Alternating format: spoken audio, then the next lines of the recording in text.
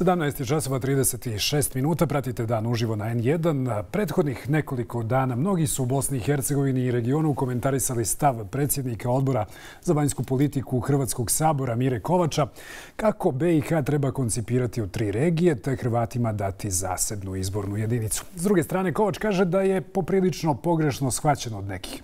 Miro Kovač danas je gost dana uživo na N1. Gospodine Kovač, dobar dan. Dobar dan, srećan pozdrav vama i vašim gledateljima. Uzvraćamo naravno. Jeste li očekivali ovakve reakcije kada ste iznijeli ideju od tri, od tri regije u Bosni i Hercegovini? Ja sam e, iskreno govoreći iznenađen, ja sam već u prethodnih 12 e, mjeseci govorio više puta o tome, javno. E, govorio sam o tome ne samo u hrvatskim medijima, nego i u medijima u Bosni i Hercegovini a prije negdje mjesec i pol čini mi, sam, čini mi se dao sam intervju za jedan e, pisani, tiskani medij u Bosni i Hercegovini sa sjedištem u Sarajevu, građanske orijentacije gdje sam iznio e, ovu svoju e, ideju o belgijskom modelu.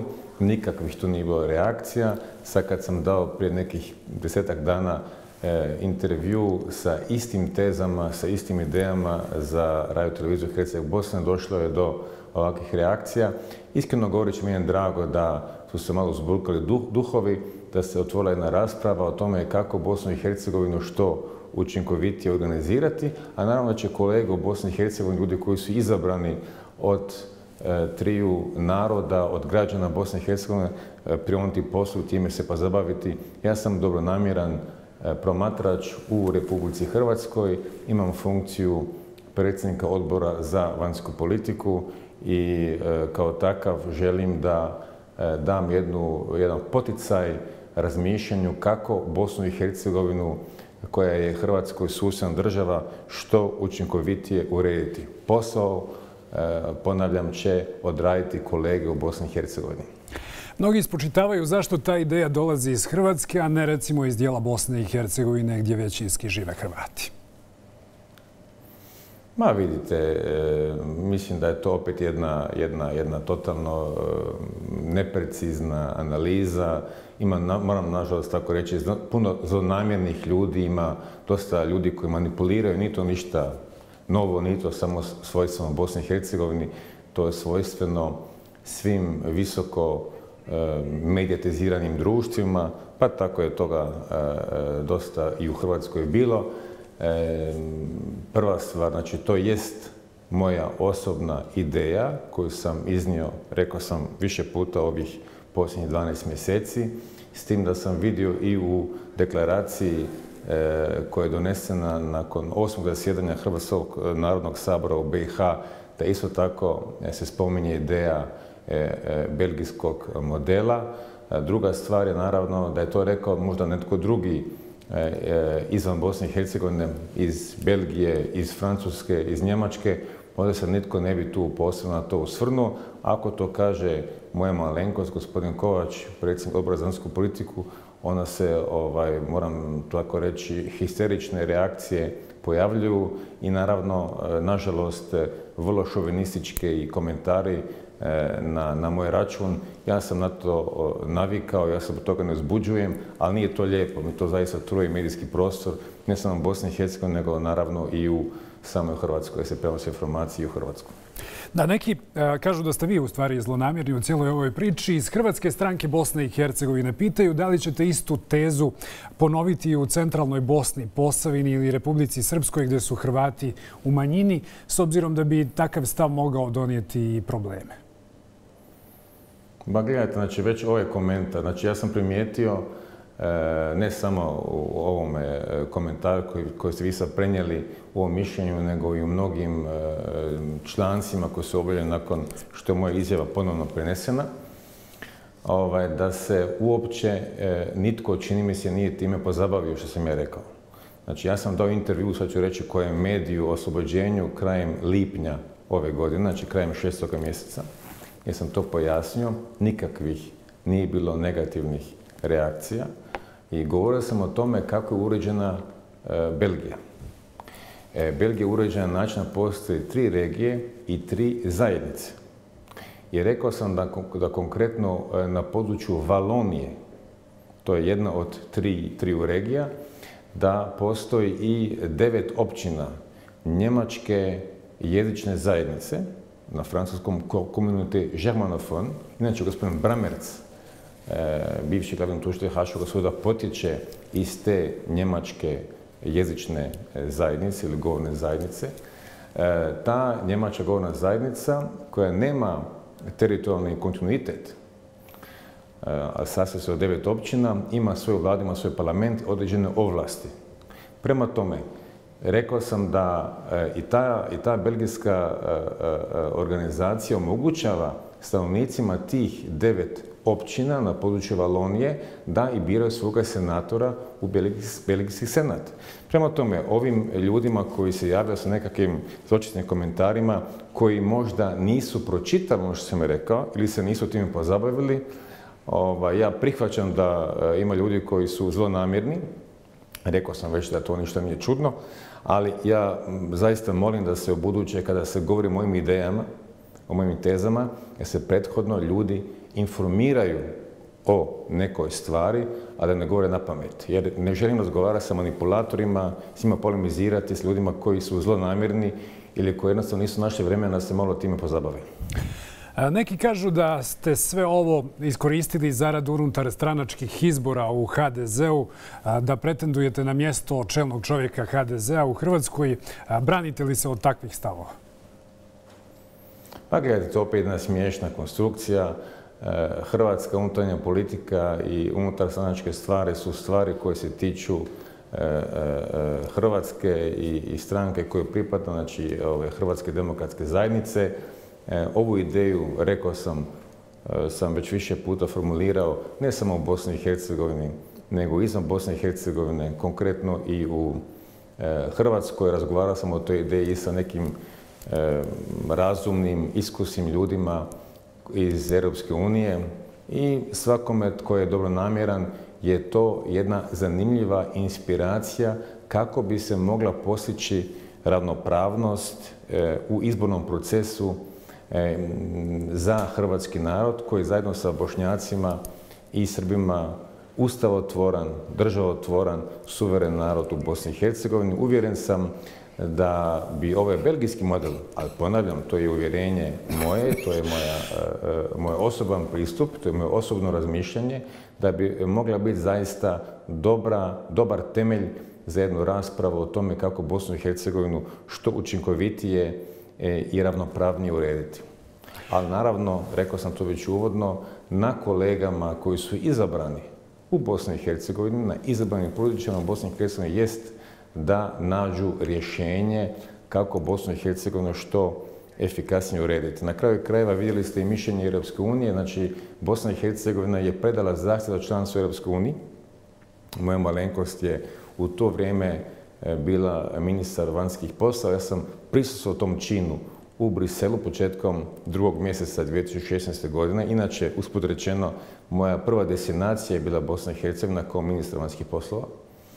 I znači, ja sam prisustvovao tom činu e, e, predaje, to jest jednom prijemu nakon predaje zahtjeva za članstvo. Sad došlo konačno mišljenje, mišljenje Europske komisije o E, zahtjevu za članstvo i vidjeli ste da je došlo nekoliko preporuka da treba izvršiti reformu u 14 područja kako bi Bosna i Hercegovina dobila pozitivno mišljenje za početak pregovora, a to implicira i promjenu Ustava.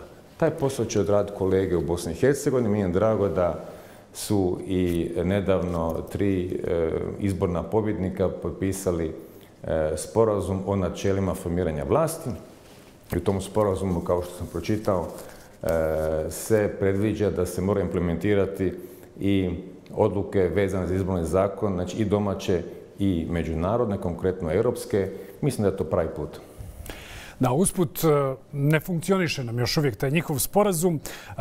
Pomenuli ste put Bosne i Hercegovine ka Evropskoj uniji negdje na tom putu Bosna i Hercegovina očekuje podršku Hrvatske, ali moramo priznati da posljednjih godina su nekako zahladili odnosi Hrvatske i Bosne i Hercegovine, pa su tu isplivali problemi poput Pelješkog mosta. Evo, pominje se i odlagalište na Trgovskoj gori.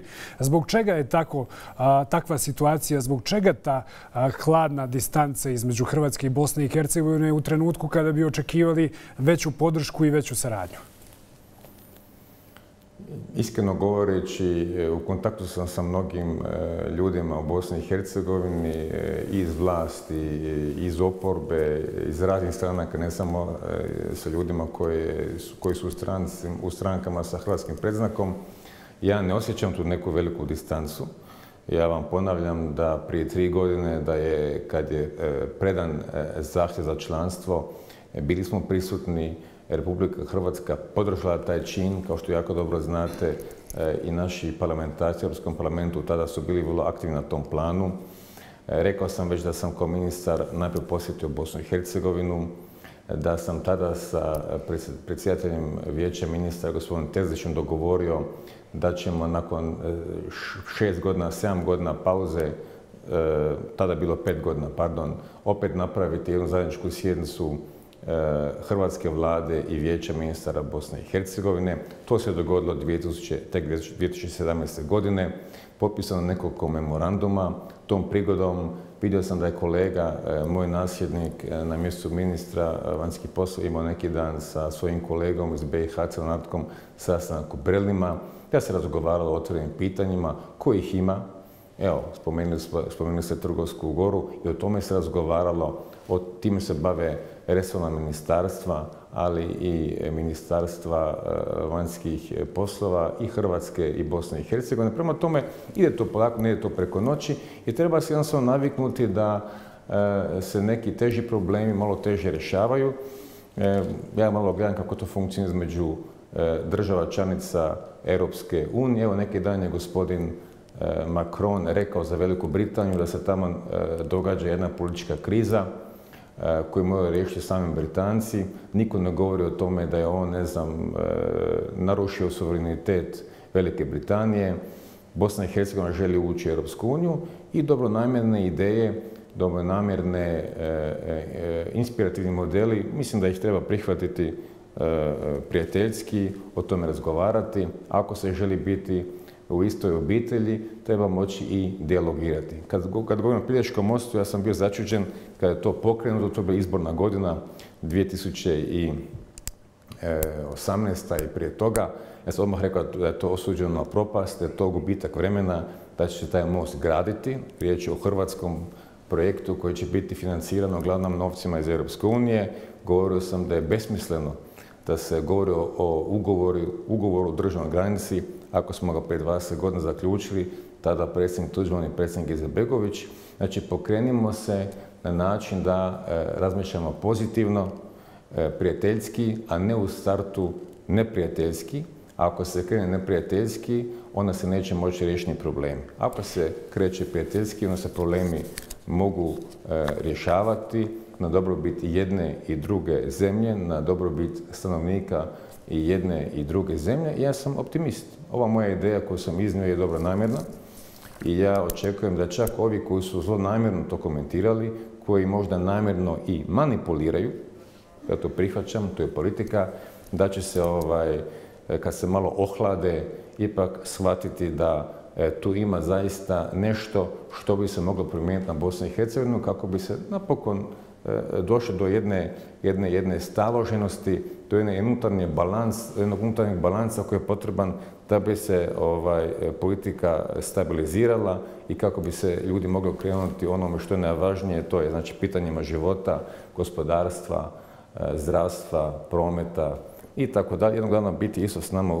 s nama ovdje u Hrvatskoj u toj obitelji koja se zove Europska unija. Ali neke stvari treba promijeniti e, i ono što je vrlo važno, to ponavljam, e, hrvatski narod u Bosni i Hercegovini je najmanji narod, on je ustavotvoran narod, on je suveren u Bosni i Hercegovini zajedno sa Bošnjacima i Srbima i ostalima.